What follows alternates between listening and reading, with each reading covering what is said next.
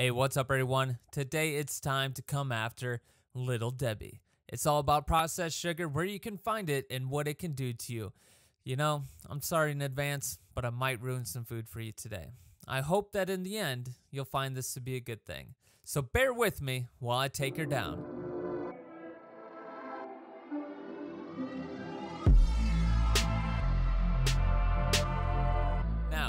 Before I tell you what processed sugar can do to you, I gotta let you know where to find it. It's not as simple as turning your food over and taking a peek at the nutritional label. You know, processed sugar is like a seductive secret agent, aka Little Debbie. Look into it. You don't believe me? Little Debbie is found all over the place and goes by many different names. Not to mention, she lures you in with ease. Her other aliases include high fructose corn syrup, cane sugar, cane juice, rice syrup, molasses, caramel, and most ingredients ending in ose, such as glucose maltose or dextrose. With all these different names, it's nearly impossible to find her, which makes it more difficult since she is a master at hiding. She takes cover in obscure places like yogurt, vitamin water, oatmeal, peanut butter, and granola bars, and at times she can be brazen. Then you can find her in ice cream, soda, cookies, and more.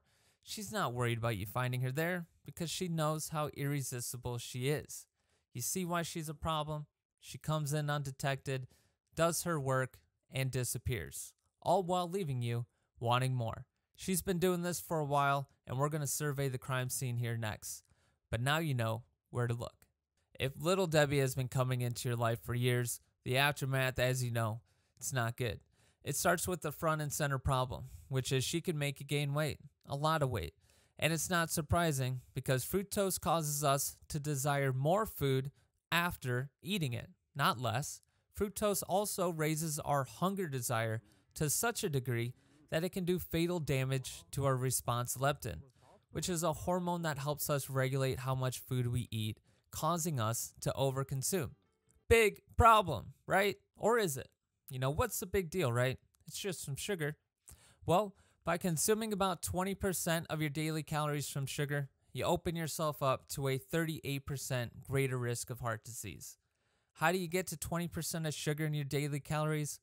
Well, that's pretty easy because that's just over one can of soda. One can, okay? Don't forget about what was mentioned before and all the other places sugar pops up.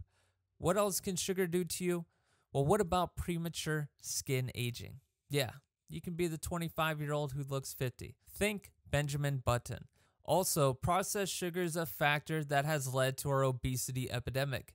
And being obese opens you up to sleep apnea, depression, disability, heart disease, stroke, and type 2 diabetes. You know, there's nothing cute about Little Debbie. She is a stone cold killer. So let's get this straight. Processed sugar is hard to find, easy to overconsume, and hard to kick off the diet. And also, it undoubtedly kills us. Is that enough doom and gloom for you? Well, you know what? It's enough for me. Do what you will with this information. Keep eating it or don't. At least now you know.